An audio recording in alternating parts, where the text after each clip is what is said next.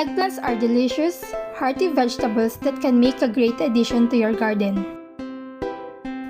Eggplant is a low-calorie, naturally fat-free source of complex carbohydrates with plenty of fiber.